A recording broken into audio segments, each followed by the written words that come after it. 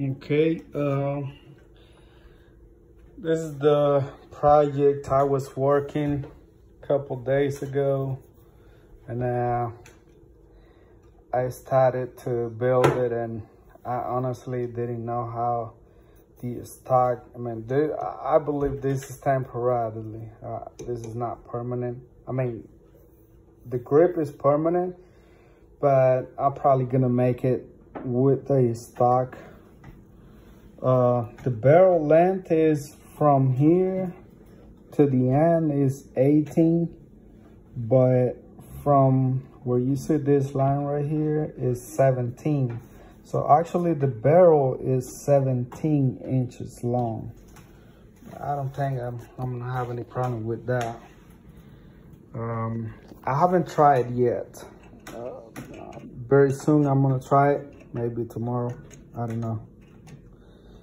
I probably would go ahead and try it tomorrow.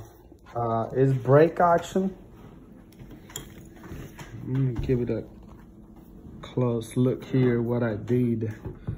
Um, this is the, the trigger guard and uh, the space for the trigger is very like exactly it don't touch the guard so That's good. Um, I got that right there.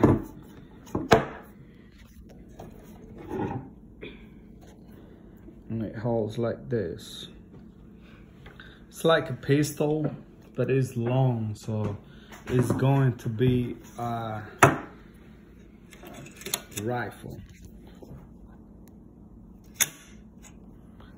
Let me show you the the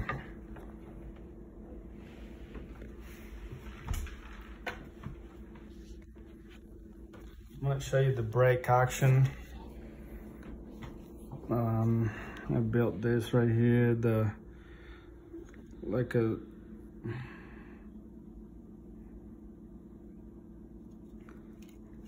and uh, this is a little bit hard, but I think it's, it needs to be like that in order to hold the barrel.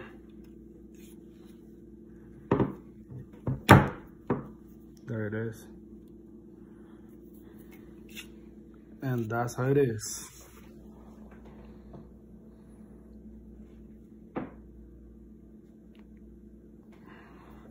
Over here in the firing pin,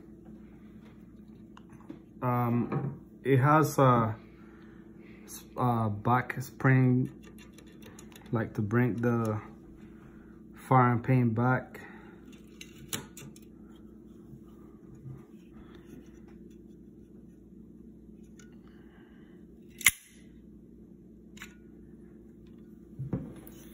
So I think it's going to be good. I tried already with uh, empty shell just with the powder in there and it, it did explode. It, it went. But I haven't tried with the live shell or ammo. I haven't tried that yet. It got everything inside, the spring for the for the the hammer, uh spring for the trigger, uh and that's it. I mean, I weld these pretty good. I weld the the the bridge and the firing pin has a bolt so the so it don't come all the way out. You don't have any stop right there. And um I just stay tuned. I'm gonna try next time for the firing test. Um, it's probably gonna be tomorrow. Stay tuned.